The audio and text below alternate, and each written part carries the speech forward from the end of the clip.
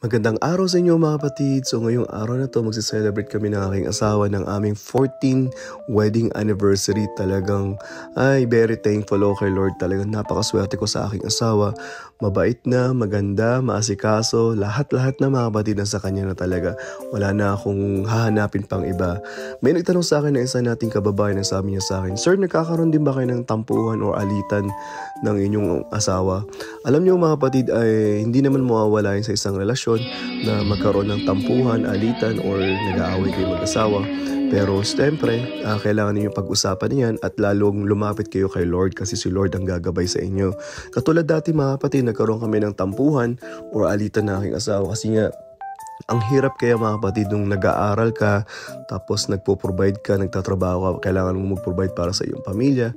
So talagang mainit ang ulo ko kasi kada buwan isipin mo yung mga bills, ay nako bayaran, bayarin na naman. Hindi na matapos-tapos.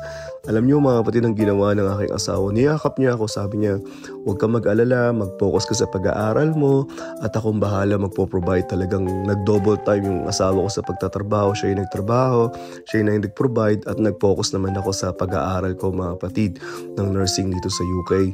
So ayun, nang natapos ako mag-aaral dito mga kapatid, ang sabi ko kay Missy, sabi ko it's about time na na tumigil ka na sa pagtatrabaho. Tama na yan.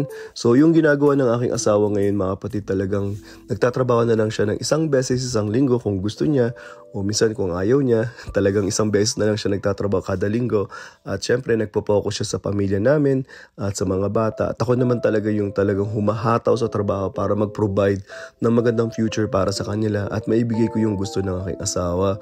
So ayan, trabaho, trabaho, trabaho ko. Talagang si Mrs. naman ay talagang nakapokus siya sa mga bata. At talagang ano naman, awa ng Diyos, nakaka-survive naman kami sa mga gastusin. Kasi nga talagang malapit kami kay Lord parati mga kapatid. Alam niyo mga kapatid, yung isang problema ng pag-aasawa or isang relasyon ng mag-asawa, lagi ninyong ilapit yung problema ninyo kay Lord mga kapatid. Kasi si Lord yung gagabay sa inyo para sa mabuting relasyon.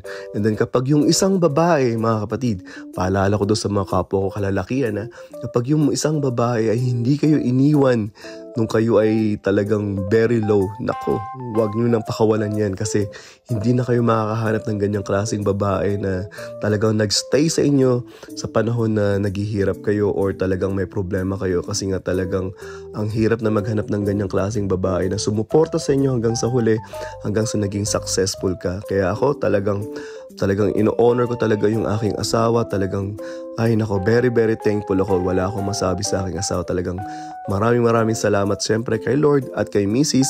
At happy anniversary sa atin. I love you!